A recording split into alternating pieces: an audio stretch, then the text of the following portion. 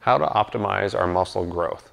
First is making sure we're getting adequate calorie intake. This is making sure that we're eating enough, getting enough protein, enough carbs on board to allow our muscles to grow and have the nutrients there.